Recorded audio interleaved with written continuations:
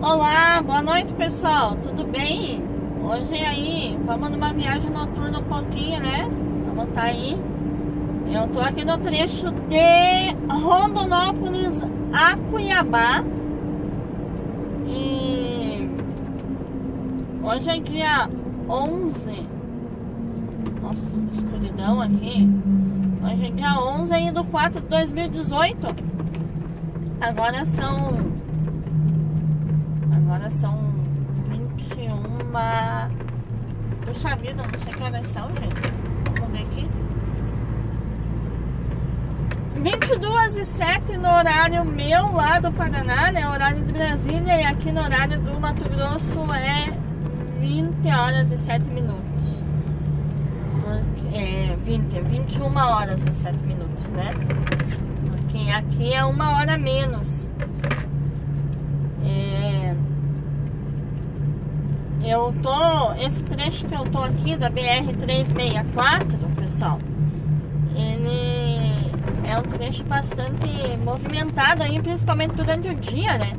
Então de dia aí tem muito movimento aí dos nove eixos e tudo mais.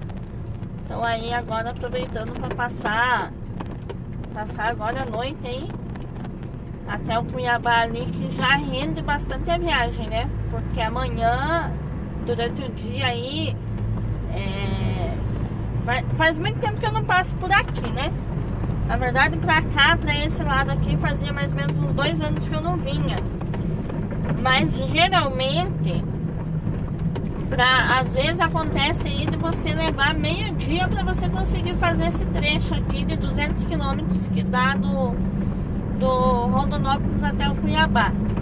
Porque ele é pista simples, o movimento é muito grande, né? Principalmente dos nove eixos aí e durante o dia, então ele não rende nada a viagem. E como vocês podem ver aí também, a estrada não ajuda muito, né?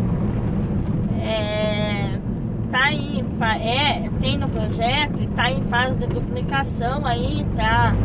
As laterais até já tem umas partes, uns pedaços que já estão é, já aplainaram e tudo mais, mas sabe Deus quando que isso vai ser concretizado, né?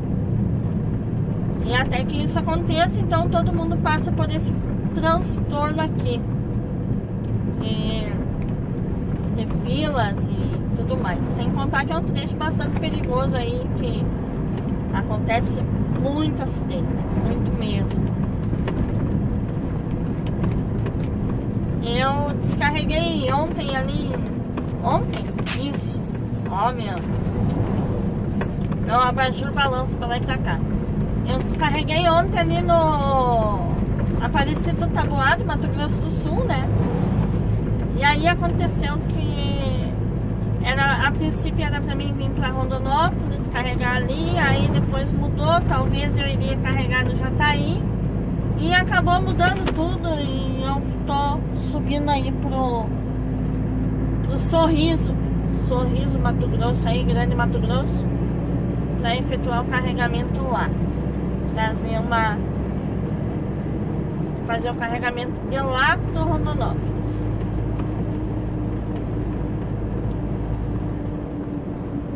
Tirar o pé aqui, que o moço ali tá apressado, né? E ali, logo ali em cima tem uma curva. Então é. Tem hora que a gente tem que tirar o pé e deixar que vá, né? É, sem contar que ali logo pra frente ali já tem a faixa adicional. E olha aí, ó, tá vendo, ó? Tá vindo outro do lá, ó. Ó, só olha. Aí o outro de lá tem que tirar para acostamento porque o bonito entrou podando tudo. Tudo e mais um pouco, né? Sem querer saber quem que tá vindo, quem que tá indo. Então esse trecho aqui a gente tem que prestar muita, muita atenção, porque assim tem muita tem muita imprudência. E é um trecho aí que acontece bastante acidente, mas muitas vezes a gente vê o porquê, né? E aí não vamos naquele naquele ditado de ferro e fogo, né? O cara tá acelerando Desculpa aí. O cara tá acelerando e você acelera junto pra não deixar passar porque ele tá fazendo coisa errada, né? Não adianta. Se faz isso daí, você só vai acabar aí causando um acidente maior. Então, devagar também chega, né? E, e o que importa é a vida da gente e a vida do próximo. Por mais que às vezes o próximo não pense muito nisso, mas o que vale aí é como você se comporta, né? E eu nesse, nesse aspecto aí eu sou muito de boa, assim, eu quer ir, vá, pode ir, entendeu? Eu, eu vou aqui no meu ritmo e, e pronto, né?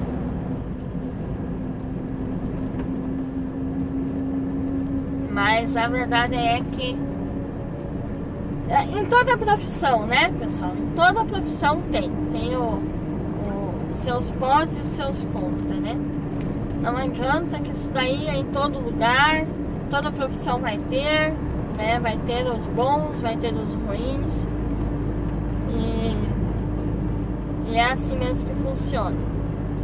As pessoas discriminam muito o caminhoneiro, né? Ah, tem os loucos, não sei o quê. Mas viu, tem muita gente boa aí no meio e, e e é só.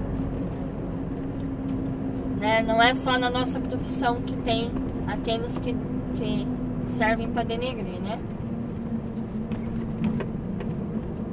Mas eu acredito aí que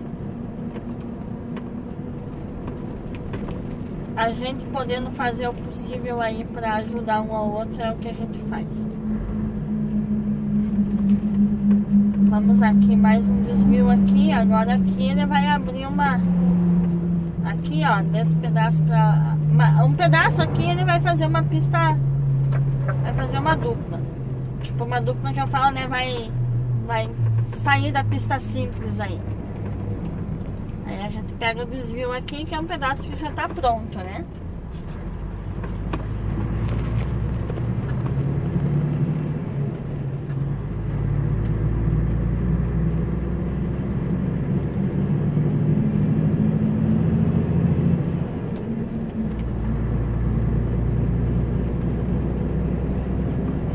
Fiz uma. Deixa eu fa fazer uma menção aqui rapidinho. Eu fiz uma live no Face agora esses dias, passando Goiânia. E aí eu inventei de pôr uns pedacinhos de música pro meio, mas tipo, eu ergui o som na hora, assim, só um pouquinho rapidinho e. E a minha live, meu vídeo foi cortado por causa disso. Então, não tem como, realmente não tem como pôr música Vamos sem música mesmo. Eu vou aqui falando com vocês. Tá bom, pessoal? Fica com Deus aí. Eu sigo minha viagem aqui. Em busca ali do Cuiabá. Vou encerrar por ali minha pernoite, né? Da pernoite ali. E aí... É, do Rondonópolis até Sorriso dá 700 quilômetros. E... E aí meu horário ficou um pouquinho meio que apertado aí. Mas vai dar tudo certo, né? Eu vou até ali no Cuiabá e se Deus quiser ali eu chego bem, levanto e sigo aí pro sigo pro sorriso. Amanhã bem cedinho, saio dali bem cedinho quando for no horário aí que é pra estar tá lá, que são que vai ser às 14 horas da tarde, se Deus quiser eu vou estar tá lá. E Ele quer.